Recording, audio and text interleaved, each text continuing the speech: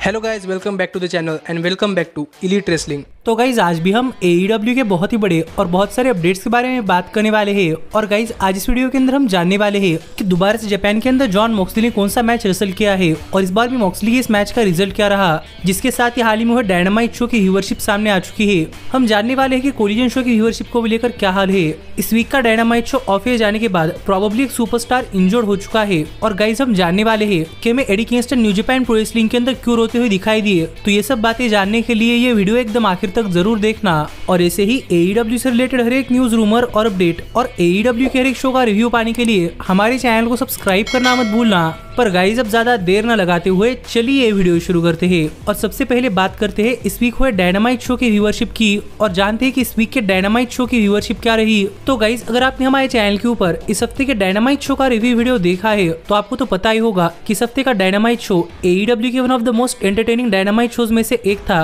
और अगर यहाँ पर हम बात करें शो की व्यूअरशिप की तो गाइज़ इस डायनामाइट शो की व्यूअरशिप इसके पहले हुए शो के मुकाबले करीब करीब 4.5 परसेंट ज़्यादा बढ़ी है। और जहाँ पर इसके पहले हुए डायनामाइट शो को व्यूअरशिप मिली थी 810 के व्यूअर्स तो वहीं पर इस वीक के डायनामाइट शो को व्यूअरशिप मिली है 855 के व्यूअर्स जो देखा जाए तो गाइज़ डायनामाइट शो की व्यूअरशिप के अंदर एक सिग्निफिकेंट सा जंप है, और इसके साथ ही 18 टू 49 एज डेमोग्राफिक में भी डायनामाइट शो की व्यूअरशिप करीब करीब पाँच परसेंट बढ़ी है, जहाँ पर इसके पहले जो 18 टू 49 एज डेमोग्राफिक के अंदर डायनामाइट शोज़ को रेटिंग्स मिली थी 0.24 तो वहीं पर इस वीक की रेटिंग्स आई है 0.29 जिससे कि आप समझ सकते हैं कि इस वीक ओवरऑल व्यूअरशिप के साथ साथ 18 टू 49 एज डेमोग्राफिक में भी डायनामाइट शो की व्यूअरशिप बढ़ी है। जिस पर आपका क्या कहना है, आप मुझे कमेंट कर बताइए। पर गाइज़ इसके साथ ही इस वीक का डायनामाइट शो वेस्टी के top no fifty cable TV programmes के अंदर नंबर वन पर आता है, जो देखा जाए तो AEW के लिए काफ़ी बड़ी बात है। और सच में ये व्यूअरशिप देखकर मैं तो काफ़ी खुश हूँ कि इस वीक डायनामाइट शो वेस्टे के केबल टीवी नेटवर्क पर नंबर वन पर आ रहा है। पर गाइज़ फ़िलहाल के लिए हम आगे बढ़ते हैं और जरा डायनामाइट शो के साथ साथ बात कर लेते हैं कोलिजन शो की।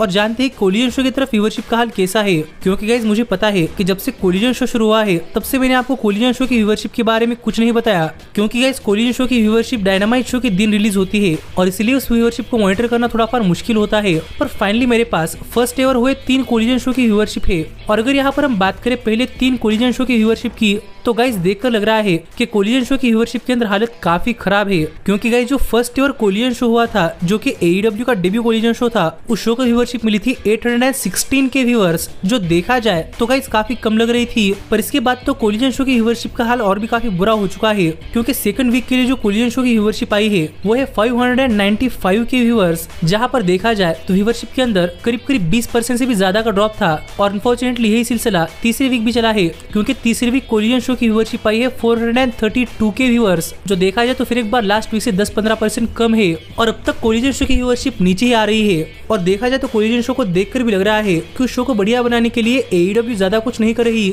और अगर AEW कुछ नहीं कर रही तो गाइज़ व्यूअरशिप तो ऐसी आएगी ही। लेकिन आप भी मुझे कमेंट कर बताइए की कोलिजन शो की इस व्यूअरशिप पर आपका क्या कहना है? पर मैं होप कर रहा हूँ की आगे चलकर कोलिजन शो की व्यूअरशिप किस ना किस तरीके से बढ़े। तो देखना पड़ेगा कि आगे कोलिजन शो की व्यूअरशिप बढ़ाने के लिए AEW क्या क्या करती है। पर गाइज़ फ़िलहाल के लिए हम आगे बढ़ते हैं और बात करते हैं हमारे अगले अपडेट की और जानते हैं कि इस वीक का डायनामाइट शो ऑफ़ जाने के बाद क्या AEW के अंदर कोई सुपरस्टार इंजर्ड हो चुका है? तो गाइज़ अगर आप AEW को फॉलो करते हैं तो आपको तो पता ही होगा कि सप्ते के डायनामाइट शो की एंडिंग मुझे थोड़ी फार ऑकवर्ड सी लगी क्योंकि डायनामाइट शो काफ़ी जल्दी ऑफ़ चला गया था, जहाँ पर ओमेगा और विजय यूथा का भी मैच पूरी तरीके से खत्म नहीं हुआ था। पर कोलिजन शो के ऑफ़ एयर जाने के बाद हाल फ़िलहाल में देखने में ऐसा लग रहा है की यहाँ पर कोई सुपरस्टार इंजर्ड हो चुका है और ये सुपरस्टार एक काफ़ी इंपॉर्टेंट सुपरस्टार होने वाला है, क्योंकि आगे चलकर the Elite versus Blackpool Combat Club इस मैच के अंदर पार्टिसिपेट करने वाला है। और ज़्यादा बातें ना बताते हुए मैं आपको बताना चाहूँगा कि गाइजी सुपरस्टार कोई और नहीं, बल्कि ब्लैकपुल कॉम्बैट क्लब के मेंबर व्हीलर यूथा है, जिनको देखकर लग रहा है की गाइज़ शायद व्हीलर यूथा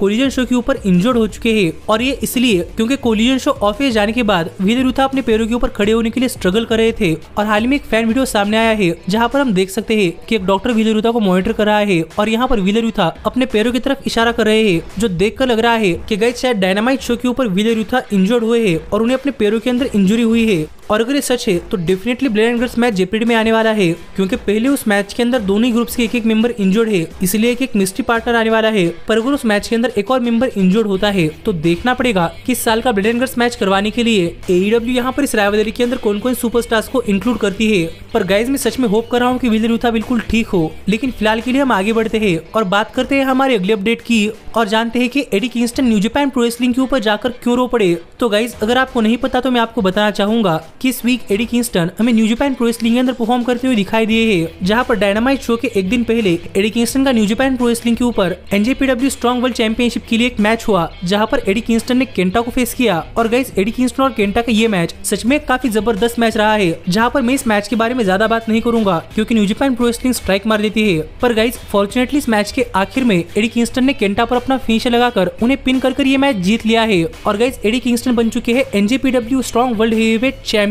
जो एडी किंगस्टन का बचपन से सपना था। कि Eddie Kingston NJPW Strong World champion बने और एडी किंगस्टन ने एक तरीके से यहाँ पर अपना एक ड्रीम अचीव कर लिया था, जिस चीज़ से एडी किंगस्टन यहाँ पर काफ़ी ज़्यादा इमोशनल हो चुके थे और यहाँ पर एडी किंगस्टन लिटरली रो रहे थे, जो चीज़ मैंने आज तक कभी भी एडी किंगस्टन को करते हुए नहीं देखा। पर गाइस सच में, यहाँ पर Eddie Kingston IWGP Strong World champion बने हैं, जो देखकर मैं एडी के लिए काफ़ी खुश हूँ और मैं होप करता हूँ कि एडी आगे भी अपने ऐसी परफॉर्मेंस कंटिन्यू करे। पर आप भी मुझे कमेंट कर बताइए कि एडी के चैंपियन बनने पर आपका क्या कहना है। लेकिन गाइस एडी के साथ ही यहाँ पर इस शो के ऊपर जॉन मॉक्सली का भी एक मैच हुआ था और वो भी उनके काफ़ी पुराने राइवल यानी कि एल डेस्पेराडो के खिलाफ। और मैंने आपको कुछ दिन पहले बताया था कि जॉन मॉक्सली ने न्यू जापान प्रो के अंदर एक काफ़ी खतरनाक मैच रसल किया है, जहाँ पर एल डेस्पेराडो और उनके टैग टीम पार्टनर ने जॉन मॉक्सली पर काफ़ी खतरनाक अटैक कर दिया था और उनके सिर के अंदर लिटरली चॉपस्टिक्स फंसा दिए थे। तो उस टैग टीम मैच के बाद यहाँ पर फिर एक बार जॉन मॉक्सली और एल डेस्पेराडो इनके बीच में एक वन ऑन वन मैच हुआ। और गाइज़ इन दोनों सुपरस्टार्स के बीच में ये मैच भी एक काफ़ी खतरनाक मैच रहा है और इस मैच के अंदर भी उसी लेवल की ब्रुटैलिटी कंटिन्यू हुई है, जो कि हमें इसके पहले इनके टैग टीम मैच के अंदर देखने को मिली थी, जिसके चलते ये मैच भी सच में काफ़ी ब्रूटल मैच बना। लेकिन इस सबके बाद अगर यहाँ पर हम बात करें इस मैच की विनर की